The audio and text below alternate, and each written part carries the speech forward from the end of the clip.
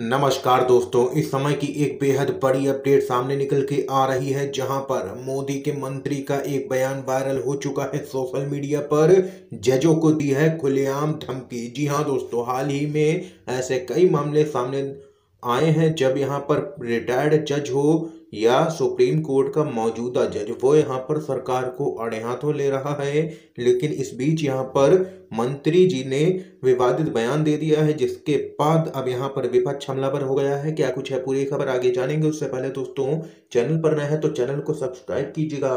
और अगर वीडियो पसंद आए तो लाइक और शेयर करना मत भूलिएगा। खबर बताते चले न्यायपालिका जजों को धमकी दी जा रही है। कानून मंत्री पर संजय राउत का बड़ा हमला।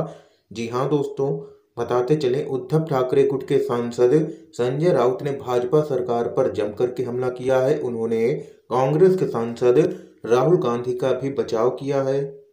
संजय राउत ने आरोप लगाया है कि विपक्षी नेताओं को सरकार के खिलाफ बोलने नहीं दिया जाता है। संजय राउत ने कहा है कि देश में जारी तानाशाही के खिलाफ कांग्रेस के नेता राहुल गांधी ने आवाज़ उठाई है, इसलिए उनका संसद सदस्यता रद्द करने का आंदोलन चल रहा है।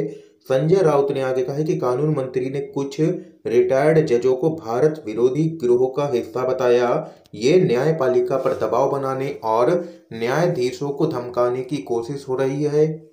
इसके साथ ही जजों को टुकड़े टुकड़े गैंग का हिस्सा बोलने पर विपक्ष के निशाने पर केंद्रीय मंत्री किरण रिजिजू आ गए हैं और उनका कहना है कि सबूत दे मंत्री, या तो फिर माफ़ी मांगे।